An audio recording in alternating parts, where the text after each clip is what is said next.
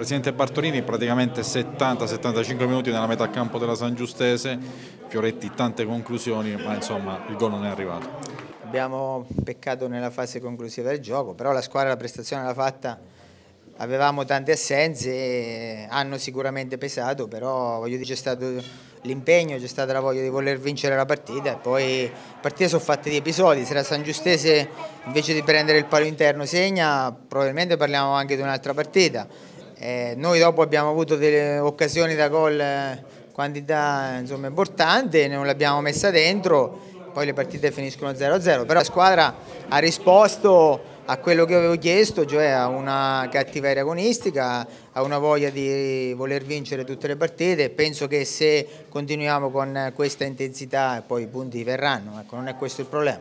Eh, la cosa positiva ai giovani, a un certo punto è entrato Cipriani, mi pare sia stato nel vivo del gioco, ecco questo è l'aspetto positivo della, della partita. Sì, sì, noi abbiamo dei ragazzi molto bravi, Cipriani è uno di questi, eh, sono il futuro di questa squadra e ci riteniamo stretti, li faremo giocare, abbiamo Forcini, eh, D'Antonio e Polletta, hanno giocato anche con la Juniores che ha vinto anche ieri, stanno crescendo molto bene, oltre insomma ecco, Barlafante, Ferrini, Balducci che oggi secondo me Balducci è stato uno dei migliori in campo, sono giocatori che ci siamo cresciuti e che ci riteniamo stretti, ma la squadra non mi sento di dire niente logicamente, è mancato solamente il gol, questo lo hanno visto tutti, però